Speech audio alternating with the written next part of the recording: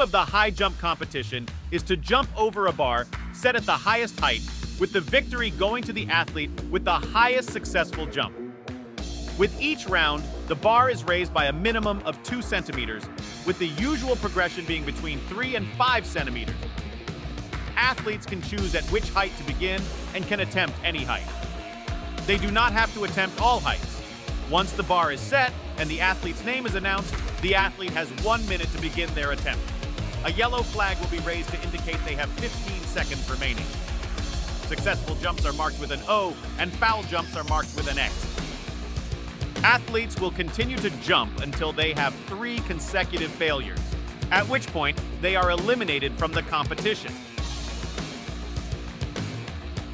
After one or two failures at a height, an athlete can choose to move on to the next height, but they will not receive three jumps at that height since the rule of three consecutive failures applies.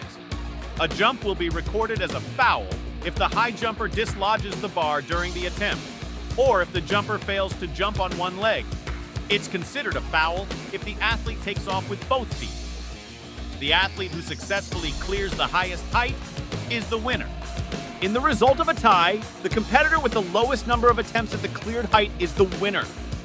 If a tie still remains, the winner is decided by the athlete with the fewest number of failures throughout the competition.